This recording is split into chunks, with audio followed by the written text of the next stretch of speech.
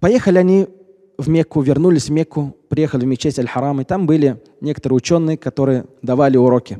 Тогда брали деньги за обучение, за преподавание. Когда они были бедными, когда она привела своего ребенка, тогда я обратился, сказал, что ты заплачешь? У них ничего не было. Сказал, у нас ничего нету, мы бедные. Когда он вырастет, он, иншаллах, тебе заплатит. В семь лет имам Шафи выучил весь Коран наизусть. В семь лет выучил весь Коран наизусть и выучил ат-тафсир. Э, приходил он на уроки, и там были дети богатых людей, которые могли платить за обучение. И один раз он, имам Шафия, пришел к своей маме и начал плакать. Сказал, я умми, лам яльтафит иляя шейх. Говорит, о, мамочка, на меня даже шейх не смотрит. То есть он смотрит на детей богатых. Он на меня не смотрит. И тогда мама, смотрите, какая была мудрая мама, сказала, сыночек, не переживай, у меня есть для тебя выход из положения. Ты иди, садись рядом с детьми богатых. И говорит, ничего не пиши, не записывай, потому что когда шейх будет смотреть на этих детей, ты будешь среди них рядом с ними, ты все запоминай. Только при условии, чтобы ты не мешал им.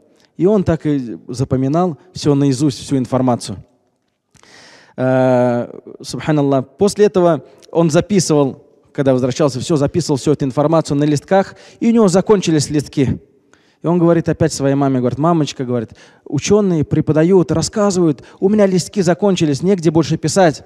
Опять же, мама говорит, у меня есть для тебя выход из положения. Пойдем к правителю города Мекки. Обычно, когда к правителю пишут на листках там какие-то, например, у кого-то есть просьба какая-то, помогите мне в этом, в этом вопросе. Те, которые ненужные считал правитель, он их выкидывал. И она собрала эти листки, и на, например, там полстранички было еще не заполнено, пустые. Вот на этих листках имам Шафия записывал эти знания. И этого не хватило.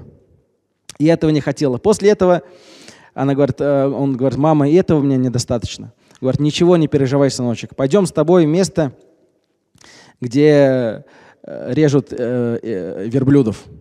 Пошли они туда, и когда режут верблюдов, отделяют мясо от костей, от ребер, мы возьмем вот эти большие ребра, мама взяла эти ребра, высушила их и сказала, будешь писать на этих ребрах знания. Имам Шафи, рахмахуллах, сказал, я шел, говорит, на,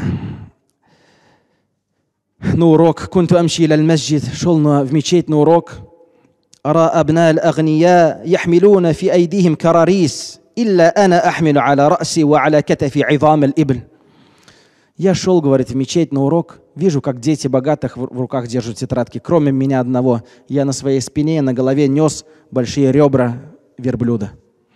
فكانوا يضحكون علي и они надо мной смеялись. Имам Шафи сказал, «Идхаку ау ла тадхаку, والله ما حملته إلا لطلب العلم ورغبة في حديث النبي صلى الله عليه وسلم». Имам Шафи сказал, смейтесь или не смейтесь, то есть меня это не касается. Клянусь Аллахом, я несу эти кости на себе из-за любви к знаниям и из-за любви к хадисам пророка Мухаммада, саллаллаху алейхи вассалям. То есть был такой уже с детства, был такой мудрый имам Шафии. Имам Ахмад сказал о нем, «Инна Аллаха кассара мин умрихи, валякин каддама лаху мин аклих». То есть Аллах Субхану дал ему мало лет жизни, 54 года, но однако дал ему широкий разум. То есть он был, очень много учил наизусть, очень много знал наизусть имам Ашафи, рахмаллах.